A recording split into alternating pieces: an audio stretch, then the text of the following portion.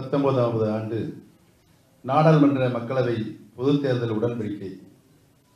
பதினெட்டு நான்கு இரண்டாயிரத்தி பத்தொன்பது அன்று நடைபெற உள்ள நாடாளுமன்ற மக்களவை பொதுத் தேர்தலில் அனைத்து இந்திய அண்ணா திராவிட முன்னேற்ற கழகமும் தமிழ் மாநில காங்கிரஸ் கட்சியும் கூட்டணி அமைத்து தமிழ்நாட்டிலும் புதுச்சேரியிலும் தேர்தலை சந்திப்பது என்று இன்று நல்ல முடிவு எடுக்கப்பட்டுள்ளது.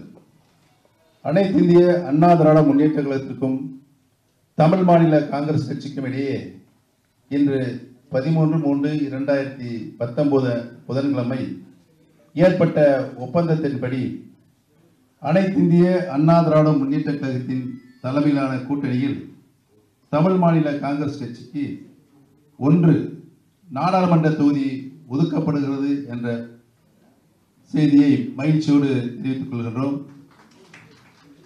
தமிழ்நாட்டில் தற்போது காலியாக உள்ள இருபத்தி ஒன்று சட்டமன்ற தொகுதிகளுக்கான இடைத்தேர்தலில் அனைத்து இந்திய அண்ணா திராவிட முன்னேற்ற கழகத்தின் சார்பில் இருபத்தி ஒரு சட்டமன்ற தொகுதிகளில் போட்டியிடும் அனைத்து இந்திய அண்ணா திராவிட முன்னேற்ற கழக வேட்பாளர்களுக்கு தமிழ் மாநில காங்கிரஸ் கட்சி தனது முழு ஆதரவை அளிக்கும் என்றும் ஒப்பந்தம் செய்து கொள்ளப்படுகிறது.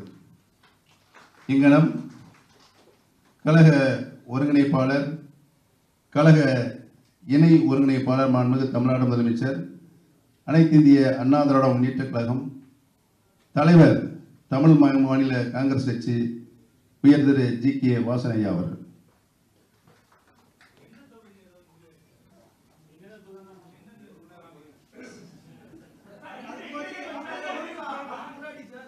உண்மை செய்திகளை உங்கள் கண்முன் கொண்டு வரும் காவிரி நியூஸின் யூடியூப் சேனலை சப்ஸ்கிரைப் செய்யுங்கள். நொடிக்கு நொடி நாட்டு நடப்புகளை தெரிந்து கொள்ள Kaveri news dot TV Facebook Instagram Twitter போன்ற சமூக வலைதள பக்கங்களோடு எப்போதும் இணைந்திருங்கள்.